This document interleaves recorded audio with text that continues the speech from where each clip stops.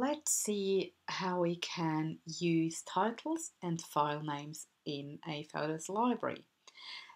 It is important to know that once a photo is in the photos library, you cannot change the file name.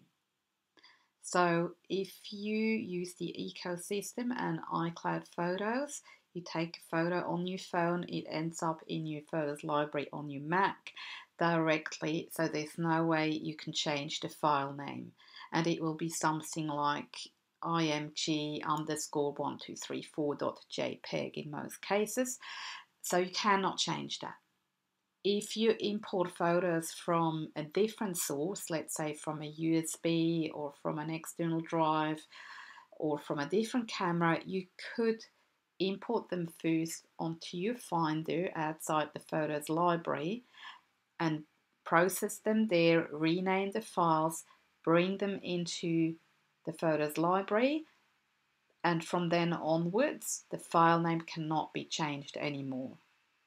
But if you import them directly into your Photos library, the file name will usually be something like I've said before, img underscore and the number or DCO or something like that depending on your camera. However, what you can do instead is you can add a title to photo. Now I see it like that. I see the title more like a, a little caption. And it also helps to make a photo searchable. So it's something that is worth thinking about. Now, it is easy to add a title, but it is also very basic. I'll show you how to do that. First of all, what I always recommend is in your view, go to metadata and make sure that titles is ticked on. There we go. Now you see these are the file names. These are the typical file names when they come in through the phone directly or from a camera directly without being processed outside of photos first. This was processed outside of photos and then imported into photos. That's why it's got that different file name. Now you might wonder, we just ticked on the box title and these names all appeared. So yes, this is actually the title showing here, but because it's grey and not black, I know this is the file name. So if it doesn't have a title, the file name is showing up in grey. As soon as it's got a title, it will look different. We can add title in two different ways. So we can either click directly in here and I type, return, and now it's got a title, fish.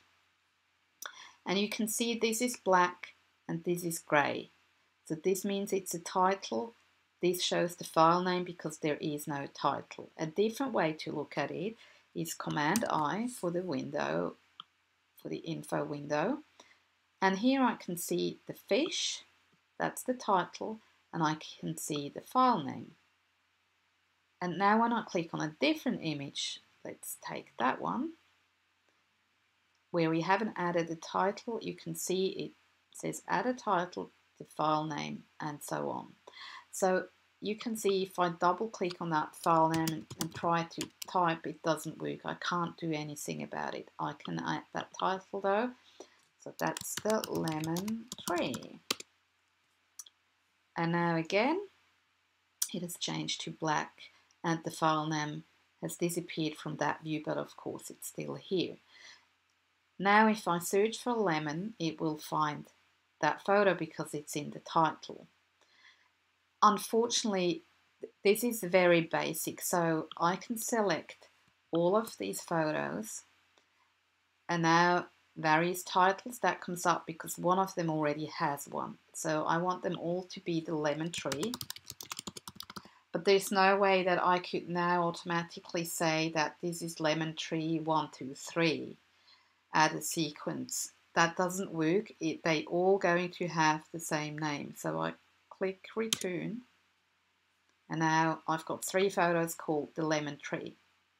You cannot automate that and add a sequence or automatically add the date like I I did in that one, for example, where the file name is the reverse capture date. That would be the 7th of March. Here we've got the 7th of March. So that was done manually elsewhere. You cannot do that within Photos. But that's okay. You can add that title and it gives you a little indication and it makes the file searchable. Now for this, I can again select all of them and I can say um, Command I,